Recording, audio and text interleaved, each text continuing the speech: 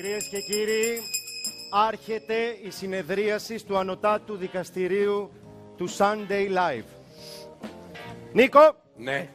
Πάτρα, Α, δυστυχώς για σένα μετά από περιγραφές και καταγγελίες φίλων και συγγενών που έγιναν στην ομάδα του Sunday Live, σε βαραίνουν κατηγορίες για διατάραξη της έγκαμης τάξης. Παρακαλώ, παρακαλώ. Παρακαλώ το ακροατήριο κατά τη διάρκεια της ακροαματικής διαδικασίας να είναι ήσυχο. Νιώθω μεγάλη χαρά για τη σύνθεση του δικαστηρίου. Μαζί μας σήμερα και για μία μόνο βραδιά βρίσκεται ο έγκριτος εισαγγελέας των μεγάλων επιτυχιών, Νίκος Μουτσινάς. Δικηγόρος... Δικηγόρος υπεράσπισης, η υπέρλαμπρη, μα πάντα τόσο ταπεινή. Μα πώς το καταφέρνετε αυτό, Δεσποινή. Με τον τρόπο μου, κύριε Πρόεδρε. Ζέτα Μακρυπούλια. Παρακαλώ, παρακαλώ, δεν είμαστε σε γήπεδο, παρακαλώ. Πρώτη κατηγορία. Ε, το πλαστικό. Νίκο, Πάτρα. Όχι.